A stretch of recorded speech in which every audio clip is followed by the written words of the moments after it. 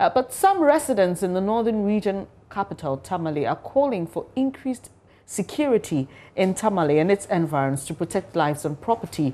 They say they've either been victims or seen a wide range of violent crimes, including armed robbery and assault.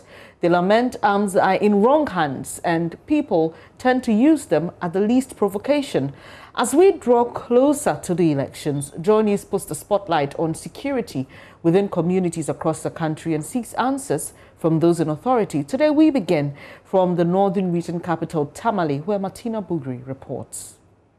The northern region has had its fair share of robberies and violent crimes this year. Areas noted for these crimes include Vitin, Kapa Yilifuo, communities around the School of Hygiene and circulated areas in the metropolis and its environs. Famous among these crimes were the Vitin mobile money robbery, the kapaili fuel station robbery, where one person was killed, the robbery of a Forest Bureau operator, and the near rape of an 18 year old girl whose rescuer was killed.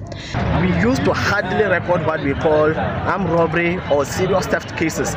But of late, you even find it very difficult to ride your motor from 9 p.m. and onwards. So these days, if at least the authorities will be able to help curb it, put what we call the Operation Calm Life, so that we'll be putting a lot of checkpoints on our roads, it will be able to help us. There was a tax in Tamale here, especially the, the filling station, mobile money vendors. Initially, when the issue started, they attacked uh, one filling station around Kakpaile near the chief palace and they killed the watchman and took everything from them. The, the state institutions, they intend to arrange, arrange, arrange some items like security barriers and the rest in town. So all they said, within some short period, they stopped understand? After that they begin to do the, the, the issue arise again. They start attacking mobile money vendors. We have to let them to be very alert. You know northern region we don't feel safe at all with less than a month to go to the polls, the residents are worried with the already volatile situation and arms in wrong hands. The region may not be able to handle additional political violence. They are therefore calling for increased security in the area. We are not at ease because of what is happening currently. Young guys people, making their motorbikes, breaking into people's rooms. When it comes to political tensions too, the kind of pronouncements people make at times it scares us. The security, the police, the fire, all the security agencies, they should come together to collaborate. For the gun aspect, it, now it is it's all about if you have money, if you come, they will sell for you without registration, without registering it. Right now, we don't feel safe, and we are heading towards election. There was patrol team in town. But usually when they always do, what they always does is that the patrol, the patrol team do only patrol in Tamale Central, around this area. They don't go to the the, uh, the outskirts like Kakpa Ayili, Kupo, uh, Wodke and the rest. The residents say they are afraid to stay out late beyond 10 p.m. Martina Bugri with that report. Let's speak to ABA Fuseini. He's Member of Parliament for Sagnarigu. Thank you for joining the show this morning, sir. Uh, so we had uh, the last person in that report saying that the patrols are usually um, conducted or done in the Tamale Central Metropolis and you don't have places like Sagnarigu uh, having the patrols that Tamale Central will have. Would you want to confirm that?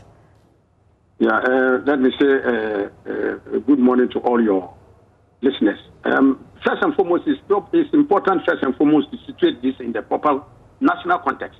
Okay. I think the general overall security situation in the country seriously is deteriorated. And uh, this, this is at a time when uh, uh, this government has had the highest uh, uh, uh, security in infrastructure. I mean, in terms of the persons that are manning our security, it's unprecedented numbers. And so you ask yourself what is happening in respect of the deterioration when even larger numbers are committed to protecting the good people of this country. And so that's the first thing. And uh, zeroing down to our distance, obviously there, there have been uh, concerns, especially in the outskirts where uh, some acts of uh, criminality have been stepped up, especially in the Tamale uh, metropolis, Sagnarigu, and others where uh, the phenomenon of stealing people's motorbike because of the uh, lucrative nature of motorbike uh, in, in, in, in, the Tamale area. And, and so this has been a cause of worry. Indeed, are, there have been times when we have mounted some security checks with, with participation of the citizenry to deal with some of those issues.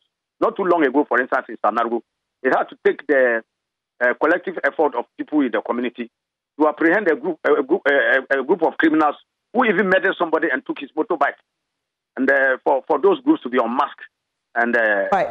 with, with, with the participation of uh, mm. uh, the citizens of the area, they were accordingly handed over to the police. Mm. Uh, as we speak now, mm. we are even waiting for decisive action against those hoodlums. Mm. But it, it, it, goes without saying that uh, security is a collective issue. All right. which uh, uh, uh, all of us have plans to participate. Mr. Fuseini. We are going to help the security as well. And so I, as member of parliament, I've had occasion to even make a representation to the district uh, uh, uh, security uh, to endeavor to expand their operations to cover the outlying areas where, because of the intensity of security at the center, they have moved to the outlying areas. All right. So uh, Mr. Fuseini, can you hear me, please? Can you hear me? Yes. Uh, did I get you in your earlier submission? Uh, do I get a sense that you do not support the deployment of police to protect to protect MPs? You don't fully support that idea? No, uh, I didn't say that. I always uh, said that uh, for me, the best uh, solution to our security decision as members of parliament is to have a, a collective security for all Ghanaians. Okay. If, if it's possible for the, the country to be secure, no MP will need any security.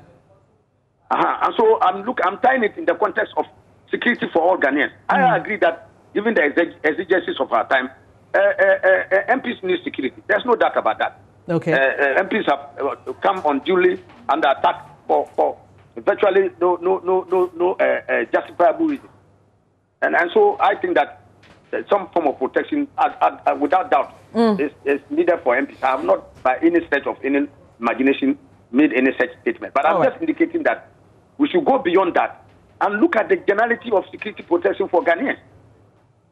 And when Ghanaians are secure, when the government is able to create a very congenial atmosphere for the safety and security of all persons. People can move out town, do their businesses, do whatever they want to do, and come back in safety and security. Mm. That is the best form of security for all Ghanaians. And so I, I am looking beyond just uh, the narrow confines of selective security to a collective security where every Ghanaian, and, and let me put it on record, that this government has a bounding responsibility to, to, to secure Ghanaians.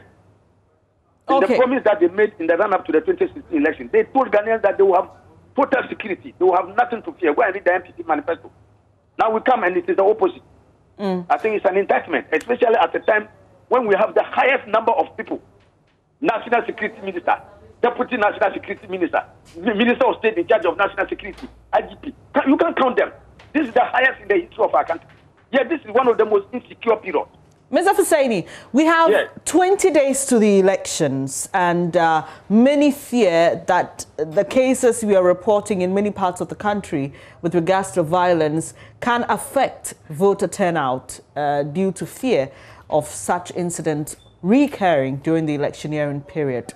What are you doing as an MP and uh, working together with uh, those on the ground and other local authorities to ensure that your constituency is safe and your constituents can go out to vote on election day?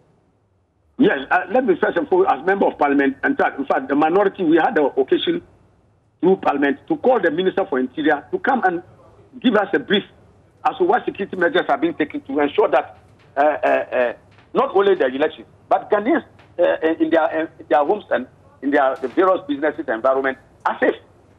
The minister of interior came to give us the assurance that uh, police numbers are being beefed up. They, they, they, they, they are getting uh, uh, more personnel to deploy into the outlying areas so that they can uh, secure persons and secure areas which hitherto had not been covered.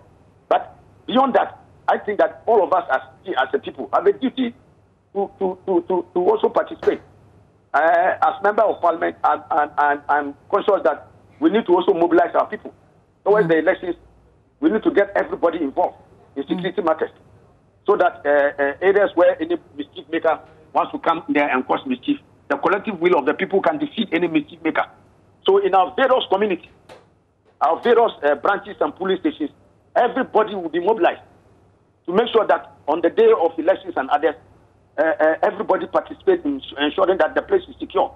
So people will come out, vote and remain and make sure that no mischief maker comes there to cause any trouble.